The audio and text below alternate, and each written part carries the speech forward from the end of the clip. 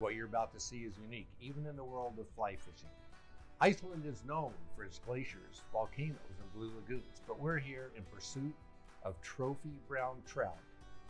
Incredible athletes, some of the biggest fish you'll ever see.